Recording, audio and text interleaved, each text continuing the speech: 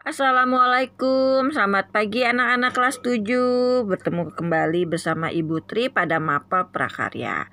Nah, hari ini Ibu akan menjelaskan tentang tugas ketiga Yaitu tugas tentang teknik pengolahan pada buah segar Nah, sebelumnya kalian sudah menyaksikan kan video pembelajaran tentang teknik pengolahan pada buah segar. Jadi, teknik pengolahan pada buah segar itu ada dua, yaitu teknik pengolahan pangan panas basah, teknik pengolahan pangan panas kering.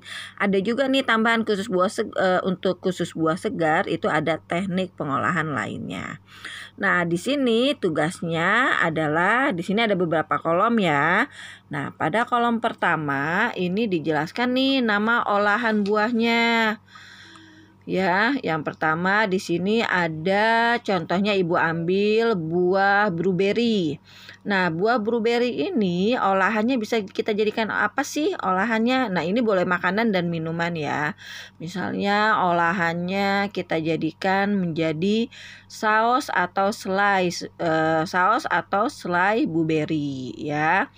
Nah, Uh, untuk saus blueberry ini uh, rasanya manis sedikit asam ya. Terus teknik pengolahannya dengan teknik poaching. Jadi dia blueberry-nya ini direbus dengan uh, menggunakan air sedikit dan api yang kecil ya. Nah, ini di sini ada gambar uh, apa? saus atau selai blueberry-nya ya. Nah, untuk gambarnya jika kalian mengerjakannya uh, di uh, ketik uh, langsung di kolom seperti ini di dokumen ya. Misalnya kan kalian nih tugasnya bisa langsung kalian kerjakan di bawahnya itu boleh kalian uh, gambarnya ini kalian cari di internet kemudian kalian copy paste untuk gambar ya. Terus untuk yang misalnya uh, kalian pengerjaannya di buku tulis ya.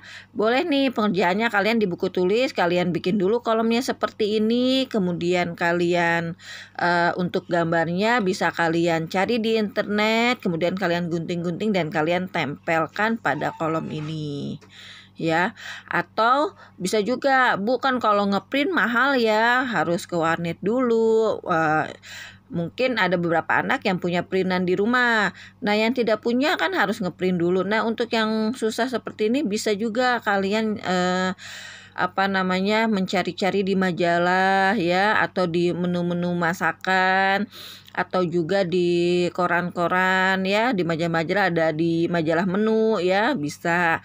Atau misalnya susah bisa juga kalian Bu uh, untuk ngeprint saya tidak ada uh, biayanya. Terus majalah juga terbatas.